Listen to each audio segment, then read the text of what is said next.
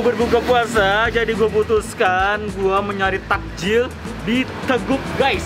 Nah jadi Teguk ini bukan cuman menjual minuman aja ya, dia juga menjual makanan. Jadi pas banget kita beli minuman yang manis-manis, yang seger-seger, dan sekalian kita beli makanan yang gurih dan manisnya sebagai takjil. Langsung aja kita ke dalam guys, kita pesan.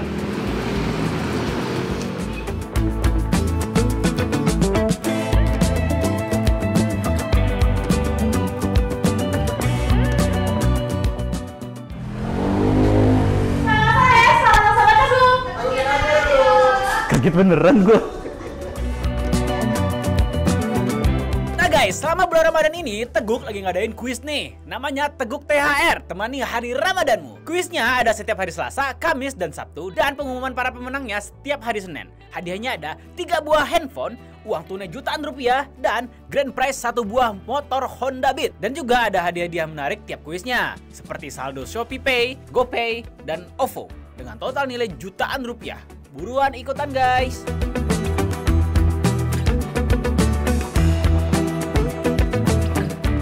Nah, buat takjil kali ini, gua pengen nyobain menu barunya Teguk nih guys. Namanya Odading Toast. Katanya sih pertama di Indonesia. Nah, menunya tuh ada Odading Toast Beef Mayo, Odading Toast Egg Cheese, Odading Toast Mentai Chicken, Odading Toast Boba Oreo, Odading Toast Boba Kit Kat. Menu minumannya juga ada varian baru loh. Ada Thai tea, ada Groovy Yogurt Mango, ada Groovy Yogurt Leci, ada Groovy Yogurt Guava, Kopi Miss You, Cheesecake Coco Mouse, Choco Crunchy Cheese, dan Sibo Milo.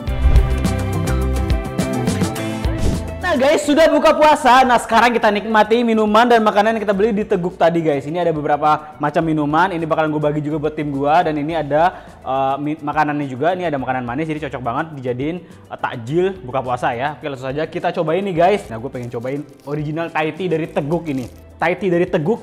Kita buktikan apakah Thai tea dari Teguk ini nikmat guys. Kalau Thai tea-nya enak berarti semua minumnya ternyata enak guys. Bismillahirrahmanirrahim.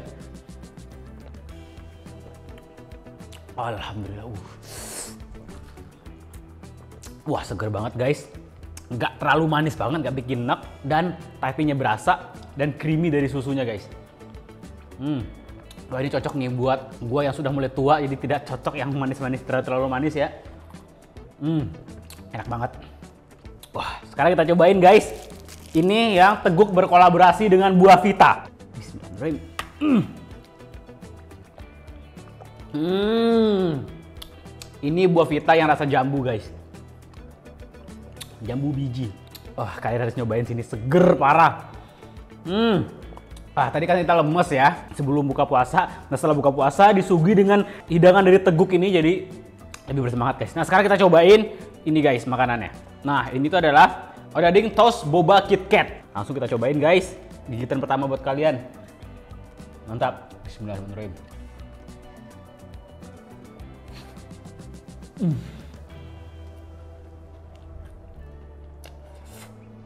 Oh.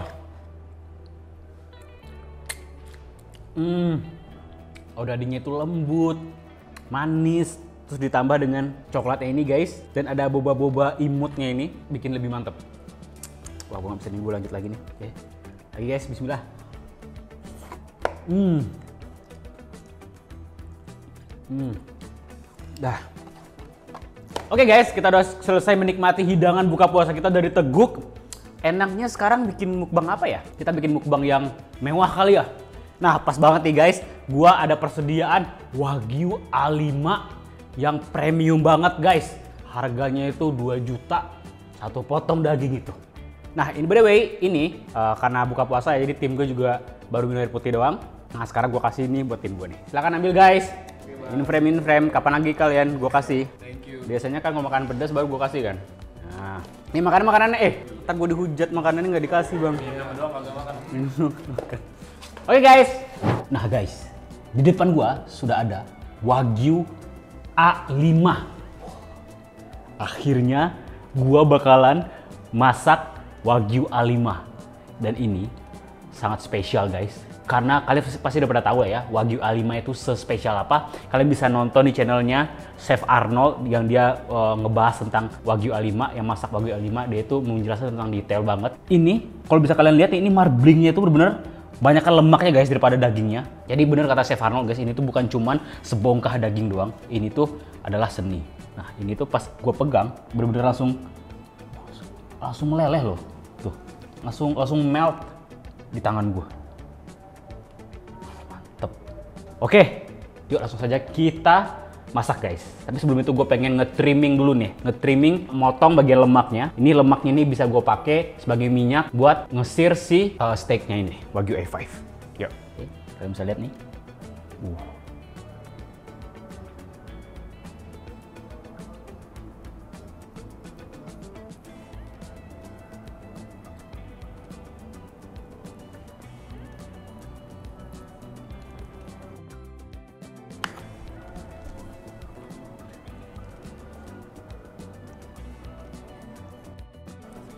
Nah, ini lemaknya bisa kita pakai guys.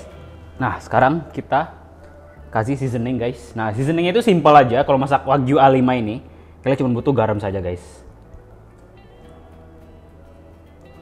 Sip.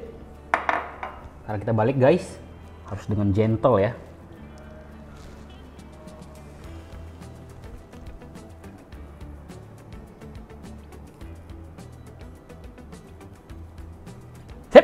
Nah, sekarang kita panaskan wajan ini. Tapi jangan terlalu panas ya. Nah, gue sengaja guys bikin apinya tidak terlalu panas. Biar dia tidak terlalu gosong nantinya. Gue pengen bikinnya tuh medium rare, bener-bener medium rare. Kalau bisa rare sekalian. Guys.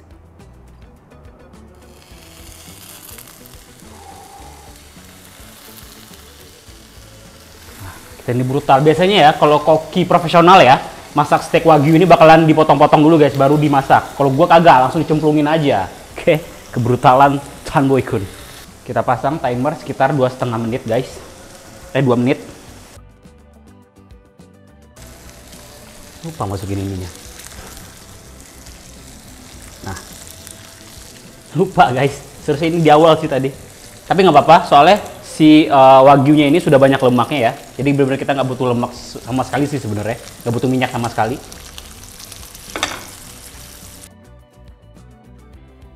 Oke, nah sekarang saatnya kita balikin. Uh. Indah banget guys. Oke, sudah guys, sekarang kita matikan apinya. Oke guys, ini sudah Uh, ini dia. Nah, biar lebih medium rare sempurna, gue bakalan uh, nge-oven ini kurang lebih 10 menit guys. Biar lebih merata dia.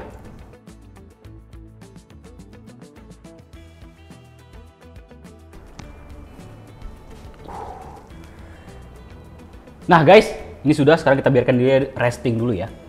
Sampai dia tuh agak dingin baru kita slice. Oke guys, pertama gue bakalan motong bagian ini dulu nih, lemak di sini nih. Nah. Uh. Kita pastikan ini terpotong ya, bagian di sininya nih. Dan kita motong bagian yang bulat ini. Ini kalian lihat nih. Itu lebih cantik ya.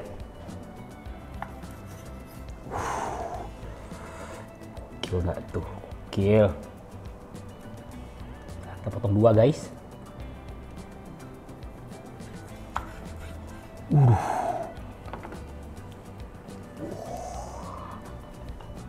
Perfecto, medium rare. Mm. The best. Oke okay guys, ini dia. Yuk langsung saja kita ke studio Can.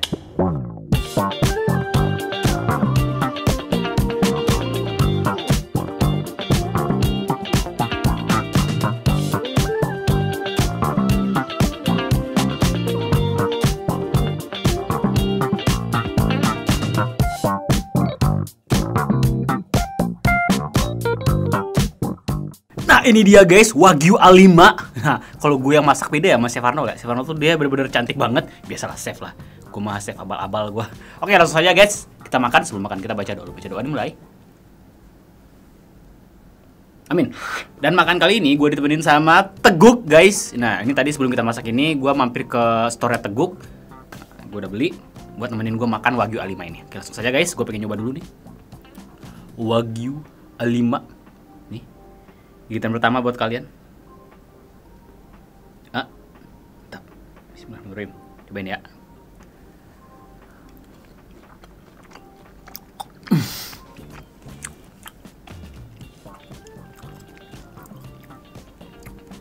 Wah, kok bisa ya? Padahal cuma garam doang. Rasanya itu gurih guys, gurih-gurih umami gitu. Jadi kayak udah ada micinnya. Jangan-jangan sapi wagyu A5 dikasih makan micin, maka dia gurih banget guys. Dan lemaknya tuh langsung melting di mulut tuh. Wah gokil, enak banget guys. Nih, yang kedua, ah, dengerin suaranya nih. Hmm.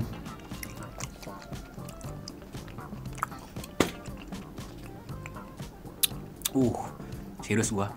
Kayak lu makan daging tapi uh, micinnya banyak, gurih banget. Padahal cuman kalian bisa lihat kan tadi, cuman pakai pakai ini doang, pakai garam doang, tapi rasanya tuh gurih. Nih, kalian nggak percaya, cobain deh. Mau nyoba gak?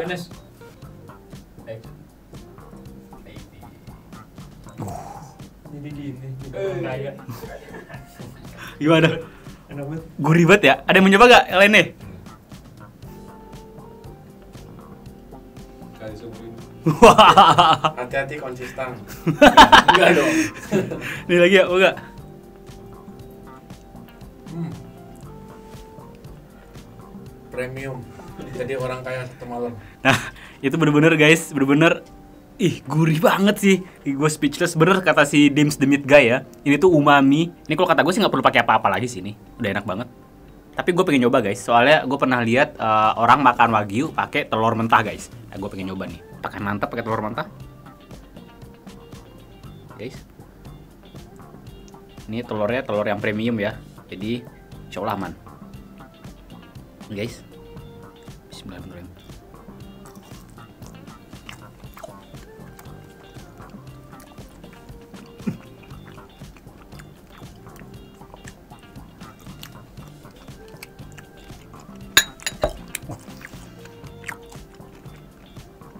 Jadi lebih creamy guys. Sekarang gue pengen nyoba pakai ini eh, barbecue sauce.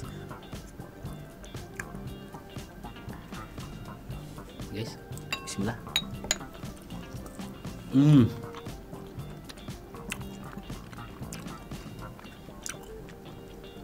Kunyah itu nggak perlu usaha lebih guys. Itu langsung meleleh di lidah lu tuh langsung meleleh ke tenggorokan lu. Hmm sekarang gue mau coba pakai saus keju.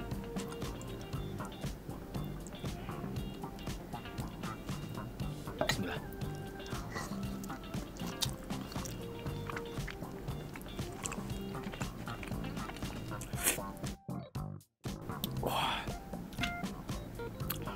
Tapi gue lebih suka yang tanpa saus sih. Hmm.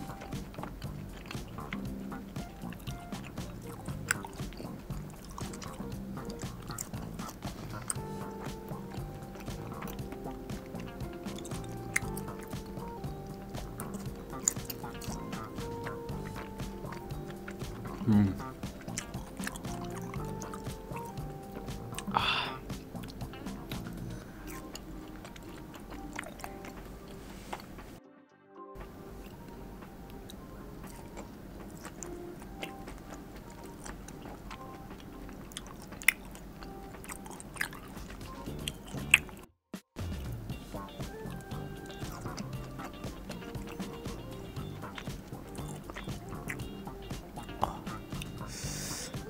Yang punya darah tinggi nih hati-hati nih.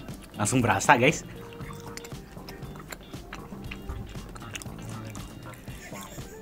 Oh, mulai pusing. Nah, gue sekarang pengen nyobain pakai barbecue sauce.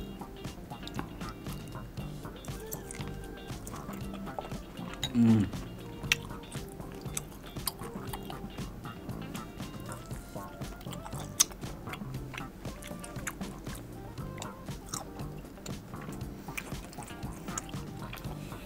Hmm. Nah, sekarang kita potong lagi nih. Masih ada setengah lagi nih. Oke. Nih guys.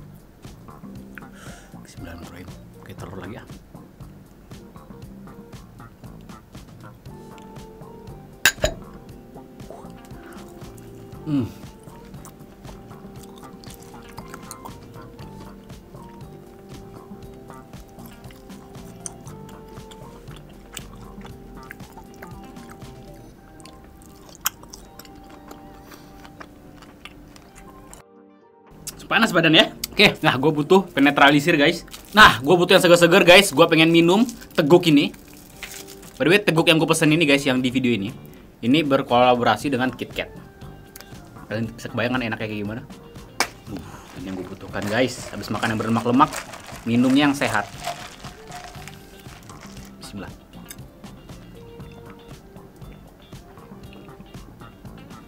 Hmm. Gue tahu alasannya kenapa orang makan wagyu itu dikit-dikit guys. Terus gue.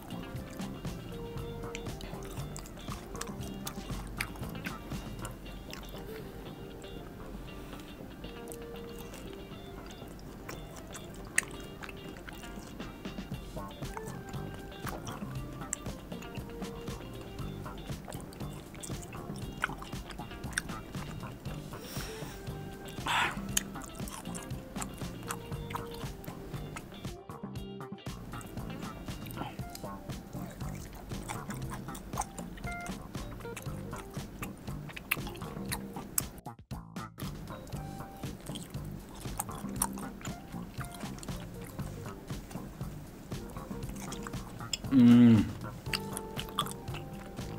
Akhir guys.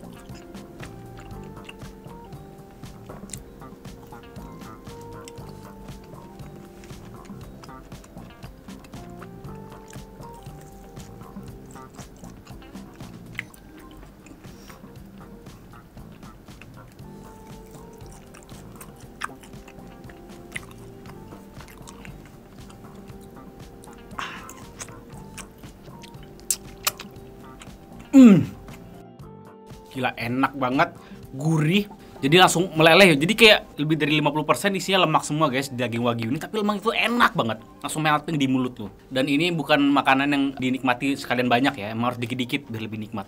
Soalnya kalau banyak ya kalau yang punya darah tinggi bahaya juga nih. Untung gua nggak ada alhamdulillah. Oke. Nah sekarang gue pengen mendeguk lagi teguk ini guys. Bismillah. Hmm. Hmm. Sumpah mulut gue langsung netral. Kan ini berkolaborasi dengan KitKat ya. Jadi habis makan yang berat-berat, nah kita kan butuh dessert tuh. Ini pas banget minumnya teguk berkolaborasi dengan KitKat ini. Jadi bukan cuma KitKat aja guys, jadi teguk ini berkolaborasi dengan banyak brand lainnya. Ini ada Buah Vita, nah terus ada Nestle, nah, ini juga dengan Buah Vita. Oke guys, nah ini gua bakalan bagi ke tim gua soalnya tim gua udah mulai banyak yang pusing nih makan wagyu doang nih, sepotong doang apalagi gua. Makanya wagyu itu emang nikmatnya di, dinikmati itu benar-benar uh, sedikit demi sedikit guys, jangan langsung banyak guys. Oke, nah ini guys buat kalian. Oke, gua akhir aja video ini. Jangan lupa like, comment, dan subscribe. See you next video guys. Bye. Assalamualaikum.